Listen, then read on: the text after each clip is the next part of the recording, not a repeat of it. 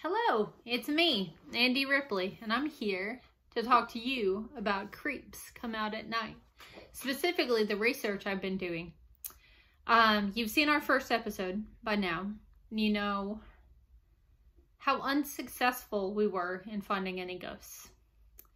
So I decided to check out this book by none other than Zak Bagans of Ghost Adventures. Ghost Hunting for Dummies. I mean, I think we're a little smarter than dummies. Also, that's an ableist word, but you know. Anyway, so I have never read anything from this uh, series of books before. And first off, I have to say, we could really use a copy editor on this. I'm sure the content that Mr. Bagans wrote was perfect. But there are definitely some misspellings that would have been easily caught if someone like myself had read through it before it went to print. Second up, and this is my favorite, we've got a picture here. If you squint real close, you can kind of see a house there. But really, it just looks like a black square. And I kind of feel like maybe somebody should have lightened that up a little bit. We could have called Irving West there on that. Overall, um, it doesn't seem like this book was written to be read cover to cover because when you do that, there's a lot of repetitive material. I think the author and the editors assumed you would just read the the chapters that seem the most interesting to you instead of the whole thing. Pretty much every chapter talks about spiritualism, which if you're not familiar with it, it was the trend right around the end of the Civil War or during it, and then came back after World War II um, of trying to speak to the dead because of the massive loss of life. I already knew as much as I needed to know and cared to know about spiritualism. There are only so many times I want to hear about the Fox sisters. So I'd say about a fourth of this book was, for me, not helpful. But there's definitely some good stuff in here about how to build a ghost hunting kit, the kinds of things you should bring, as well as considerations I hadn't thought about, like, you know, going into an old house, there might be black mold. Uh, I am from New Orleans.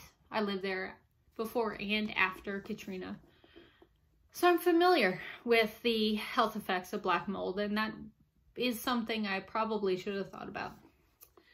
Also things like, you know, maybe you should go somewhere when it's not dark so you don't accidentally fall in a hole and hurt yourself. So definitely some good stuff to consider as far as that goes. There was also some really interesting stuff about water and humidity that I'm not entirely sure I have my mind wrapped around. Um, the idea seems to be that water has memory, which I, I'm not against that idea, but that water within buildings and building materials, because everything does contain some amount of water, can retain the memories of ghosts. And that's residual hauntings, not like full apparitions and stuff like that. Um, so he recommends you bring a humidity monitor with you. And if it like suddenly spikes, that means there might be ghosts. I I still I don't quite get it because um again from New Orleans, 100% humidity all the time. Um it is the most haunted city in the United States, so you know maybe that that is related. Um I just I don't think that it's always the same water in the air. But I'm not an atmospheric scientist, you know. Um, he does talk about storms and why storms might cause more ghosts to appear because they do feed on electricity, such as electromagnetic or electromagnetic electricity, whatever it is. You know, lightning, right? so, okay, all right. He does not talk about why nighttime is the best time for ghosts.